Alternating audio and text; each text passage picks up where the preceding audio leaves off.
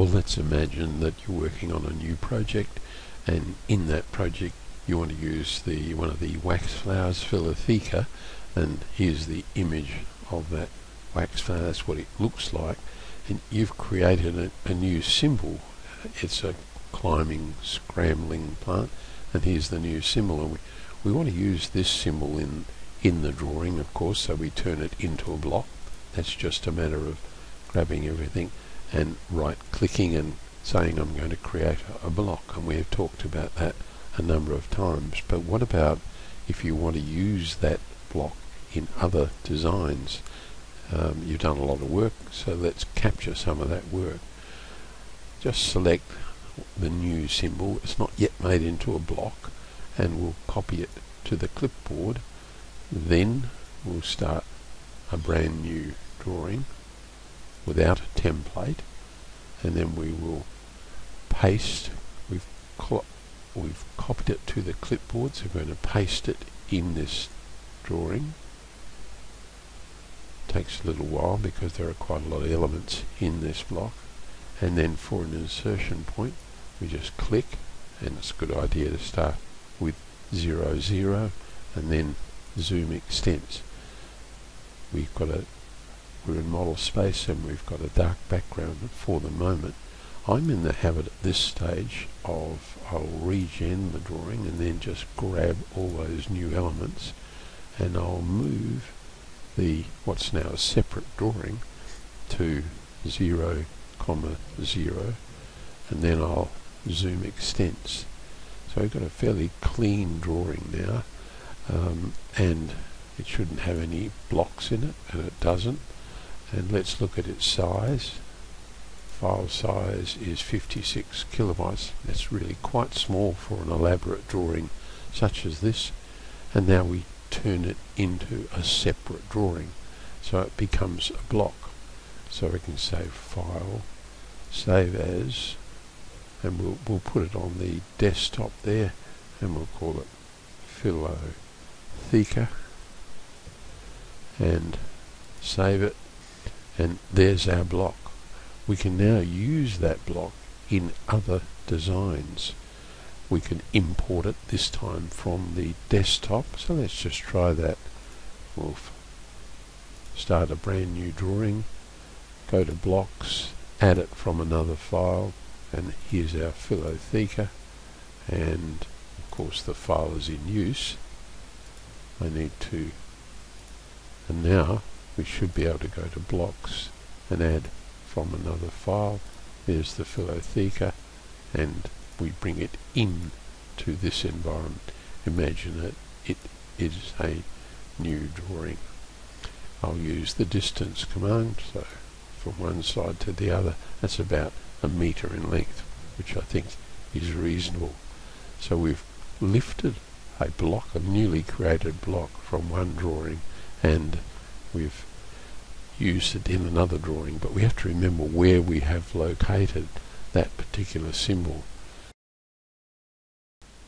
Well, you may remember that our drawing, our Philotheca, is on the desktop, so I'm going to select it and then copy it, and I'm in the habit of making a folder called My Symbols on the main C drive of my Windows computer, and you could find a similar place in the Mac and I then will paste that into the My Symbols folder.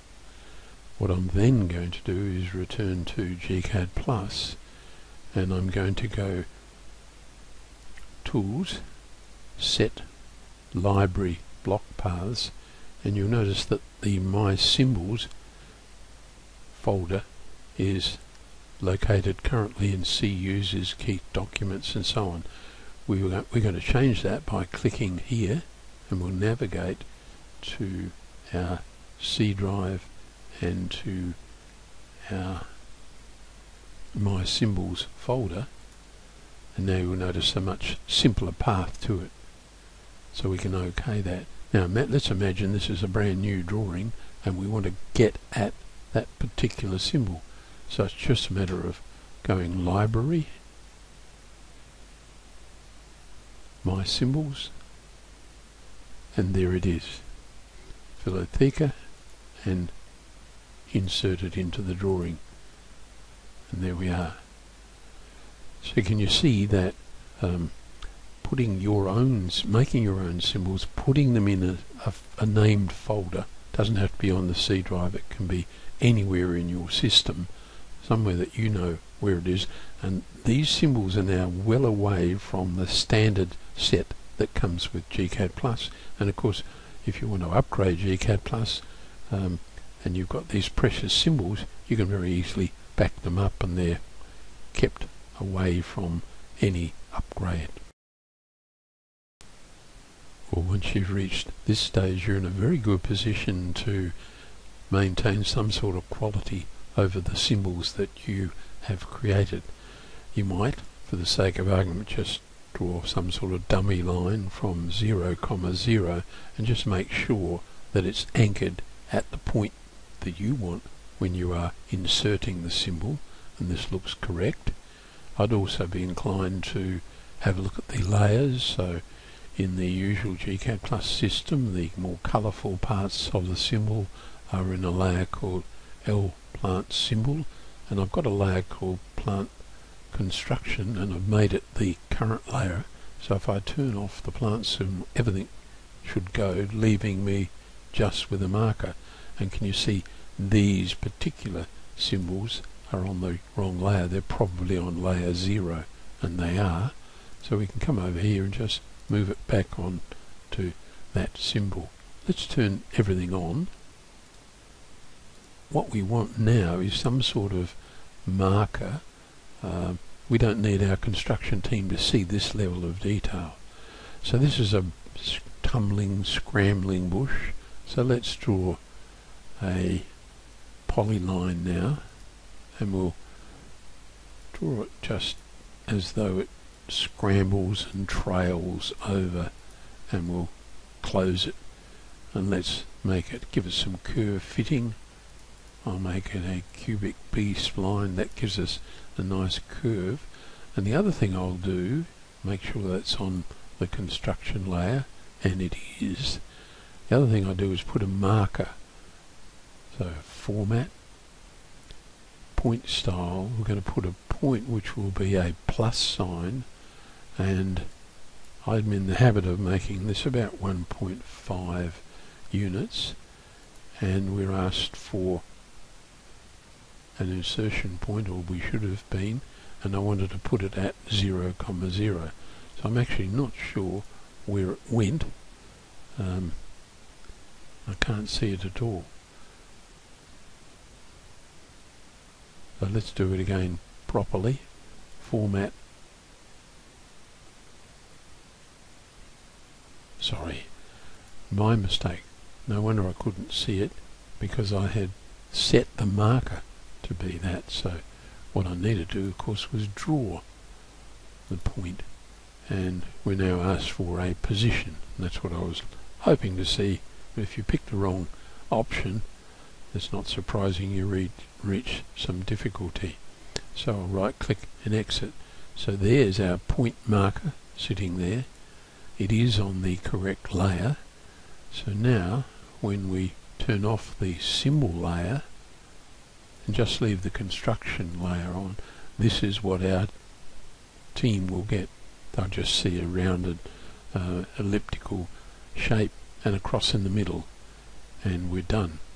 So let's now turn the construction. Mostly we turn, whoops, turn that construction layer off. Let's make this one current and we should just be left with the rather nice symbol. It works okay in this instance because the symbol is full of lots of colour, um, but I'm also in the habit of putting the background colour to white and in the habit of saying uh, zoom extents. Now saving it and we'll close it. So we've just updated the symbol. Again let's make a brand new drawing and let's go to library and plants and my symbol and we'll bring in the Philotheca again and insert into the drawing. And in it goes. And zoom extents that's fine looks good. But again if I make my view white that's what it's going to look like, look like on the layout sheet. And if we turn this construction layer off and the symbol layer there we are so I'm happy with the placement. I'm starting to build up the my symbols library. And we've been asked this question if I develop symbols of my own where do I put them? Somewhere where I can access them in all the jobs that I do in the future. And this is the way to do that.